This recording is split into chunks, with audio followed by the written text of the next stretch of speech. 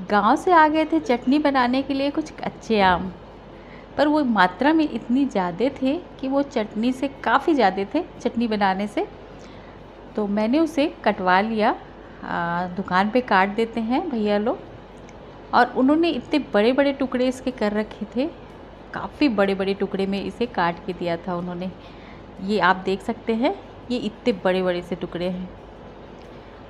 ये देखें और बीच में जो इसकी गुठलियाँ होती हैं, वो तो हार्ड है, लेकिन उसके बीच में जो उसका होता है सॉफ्ट वाला सॉफ्ट सी जो गुठली निकलती है, वो सारी इसमें थी अभी। तो ये देखें, कुछ इस तरह से इसे क्लीन करना था। टुकड़े काफ़ी बड़े बड़े थे, जबकि मुझे बहुत छोटे टुकड़े चाहिए थे, लेकिन ये चाकू से नहीं हो सकता था, इसलिए मैंने दुकान पे करवाया था। फिर घर पे ही इस तरह से अपनी हेल्पर की मदद लेते हुए मैंने इस तरह से छोटे छोटे से इसके टुकड़े करवाए। ये देखें। तो अगर आप अपने लिए बना रहे हैं तो अपनी पसंद से इसके पीसेस रखें। वैसे भी अचार जो है, वो थोड़े छोटे टुकड़े ही अच्छे लगते हैं, क्योंकि बड़े टुकड़े अक्सर छोट नहीं खाया जाता। अगर जिसको ज़्यादा खाना है, वो कई दो तीन टुकड़े ले सकता है। और ये अचार धुल के आम को मैंने इस तरह से पीसेस करवाए थे कट करवाए थे, और उसको मैंने फिर से बड़े से एक बर्तन में डाल के और उसमें नमक और हल्दी मिला के मैंने इसे रख दिया था। तो ये शाम के टाइम मैंने ये इस तरह से किया था, इसमें नमक और हल्दी मिला के और मैंने इसे रख छोड़ा था। तो ये इसलिए ज़रूरी है कि ताकि इसमें जो भी मॉइस्चर जो इसका पानी है, वो अलग हो जाए इससे। तो ये शाम के टाइम मैंने इसे किया था तो ये देखें। और इससे क्या करना था? मुझे रख छोड़ना था। वैसे तो अब अगर आप मॉर्निंग में करना है तो तीन से चार घंटे में ये पानी अलग हो जाता है इसमें से। मैंने रात में किया था और अगले दिन मुझे इसे सुबह सुबह बना के रख देना था। तो ये देखें इसमें काफ़ी सारा ये इसका पानी निकल के आया है। ये देखें। और इस अचार को भी मुझे पानी के साथ ही बनाना है। सूखा अचार जो आ, दादी नानी के समय से और भी पहले से सूखा अचार, आम का जो हम बचपन में खाते आए हैं बचपन से, आज हम वही रेसिपी आपसे शेयर कर रहे हैं। बहुत ही थोड़े से मसालों के साथ और बिल्कुल कोई भी गैस पे हमें नहीं गैस ऑन करना है, जलाना है, धूप में पका के हम बनाएँगे। और थोड़ी सी इतने सारे अचार को मैंने आधी कटोरी तेल बस मैंने लिया है इसमें। और जो कि बिना किसी दवा के बिना केमिकल के बिना किसी प्रिजर्वेटिव के पूरे साल चलेगा ये अचार आपका। तो इसके लिए पूरी वीडियो देखिए क्योंकि बीच बीच में मैंने इसे लंबे समय तक चलने के लिए काफ़ी सारे टिप्स ट्रिक्स बताए हैं। तो आप आ, उस पूरी वीडियो देखिए इसे। तो ये देखें ये इसका पानी है इसे रख देते हैं क्योंकि हमें बाद में इसकी ज़रूरत पड़ेगी।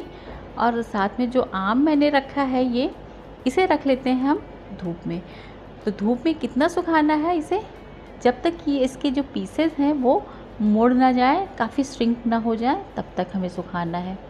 तो यहाँ पे ये देखें, ये मैंने 70 से 80 ग्राम मैंने मेथी दाना लिया है, दो किलो आम के लिए। और ये है सौंफ सौंफ है 180 ग्राम, दो टेबल स्पून कलौजी है और यहाँ पे दोनों तरह की लाल मिर्चें हैं। कश्मीरी मिर्च है और तीखी वाली लाल मिर्च है जो कि अपने टेस्ट के हिसाब से डाल लें तीखा अगर पसंद हो।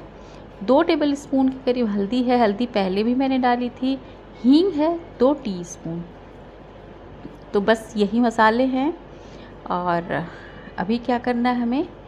ये नमक मैंने लिया है आधी कटोरी मैंने लिया है आ, नमक पहले से उसमें मैंने डाला भी हुआ है। अभी आधी कटोरी है देखते हैं जितना यूज़ होगा हम उसमें डालेंगे। तो मैंने पैन गरम किया है और यहाँ पे बस मसालों को हल्का सा मॉइस्चर निकालने तक हमें इसे सेकना है।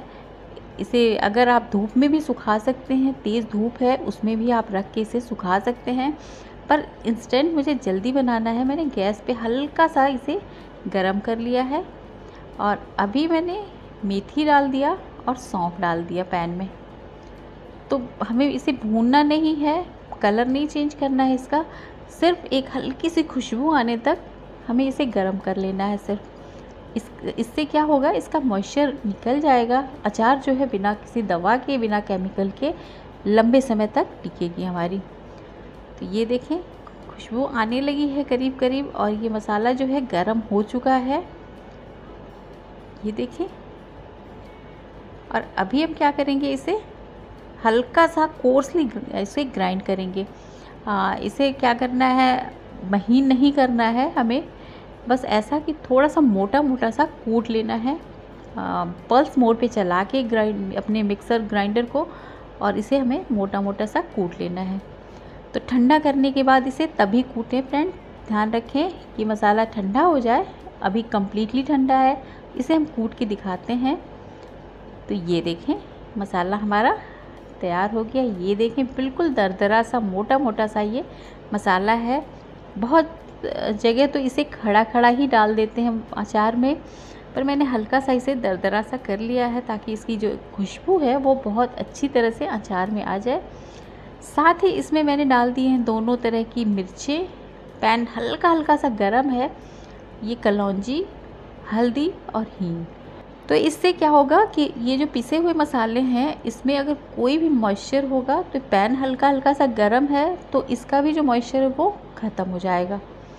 तो ये बिल्कुल ठंडा हो चुका है मसाला और अभी क्या करते हैं, जो आम का पानी था, नमक हल्दी के साथ लगा के जो पानी अलग हुआ था, उसमें इन मसालों को हम ऐड कर लेते हैं, अच्छी तरह से इस तरह से मिक्स कर लेते हैं।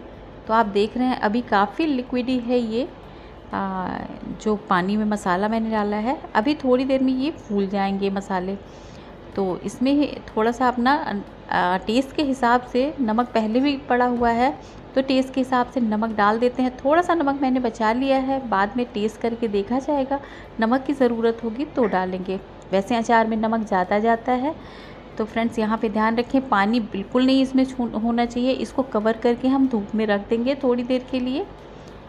और ये देखें अचार हम आ, आम हमारा सूख चुका है आज पूरे दिन की धूप लगी है और शाम के टाइम हम लेके आए हैं।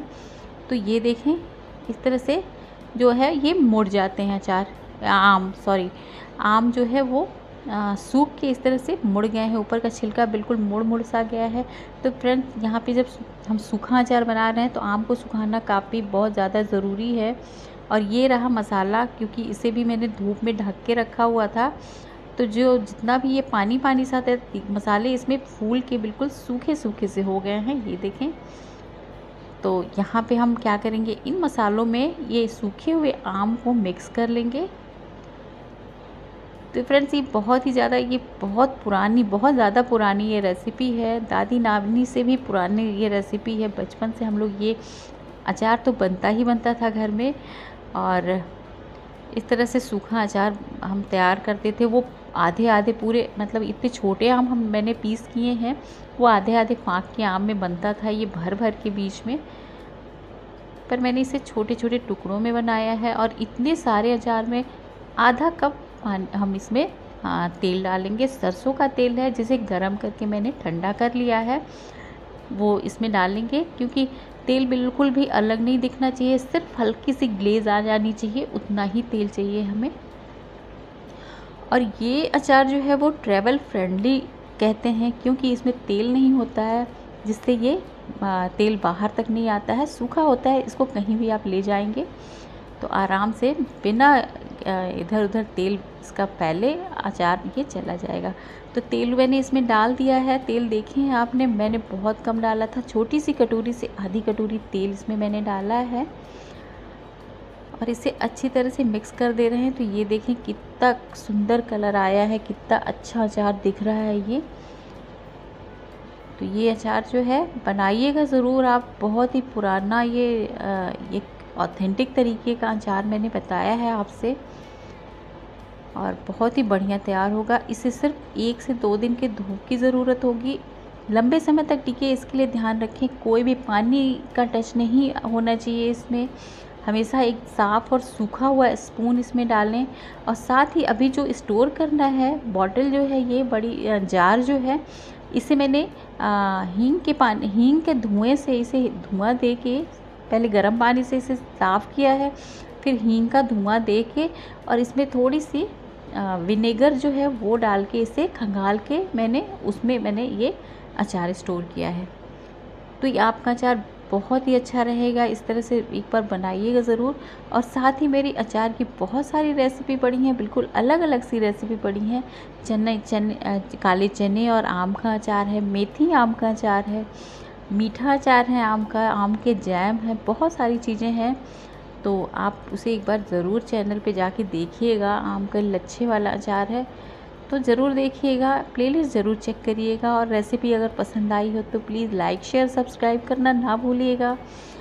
और आगे की मेरी रेसिपी मिलती रहे, इसके लिए नोटिफिकेशन बेल को जो है वो क्लिक ज़रूर करिएगा।